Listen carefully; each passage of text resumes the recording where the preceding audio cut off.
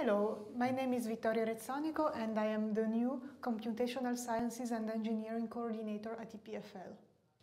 What does it mean, this function? My role is to coordinate computational science and engineering. That means I will meet the researchers and learn what they need and match their needs to the available resources within EPFL and also outside of EPFL. What are the resources you have at this time at EPFL? At EPFL we have some pooled resources, so we will buy every year a new cluster which can be doubled in the following year. So I'm also responsible for the capacity planning of these new resources that will be bought. And uh, the external resources you can access? Well, we can access, of course, CSCS. And then for uh, life sciences, we have Vital IT. So they, they satisfy mostly those users that need some special storage. And then uh, there is CADMOS, which is a cooperation between the University of Geneva, Lausanne and EPFL. And it's uh, about promoting HPC, new algorithms, creating new chairs and making software efficient. And CADMOS also provides high-end facilities. This is a new function has been introduced at EPFL Lausanne. What were you missing before?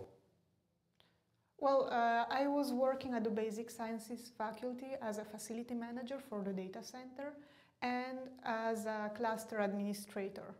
And it was mostly technical and it was just basic sciences. So uh, there was this opportunity to broaden the horizon and also to do more management work. And what is the importance of HPC at EPFL Lausanne? HPC is a pillar of research. Uh, we see that more and more labs do HPC. You have at here at EPFL Lausanne a new system how people can apply for uh, shared resources uh, for cluster. How does it work? Well, uh, first I, I meet the professors and I see what their needs are so that the new resources are tailored to their needs. We also do some capacity planning based on, based on past usage of the platforms. And then we buy the machine and the machine is allocated, uh, well, the, the labs buy only the computational power. What is the, are the largest uh, um, challenges for the future? Well, it is uh, the capacity planning. That's not an easy one because you can have expectations on what you need, what computational power you need, and then there's the reality. So we have to lever with respect to what has been used, what has been asked for. We have to make stick to the reality what is really needed. You have professors to pay for all the costs, or are some costs paid uh, in a central way? Some costs are, are, play, are paid in, the, in a central way.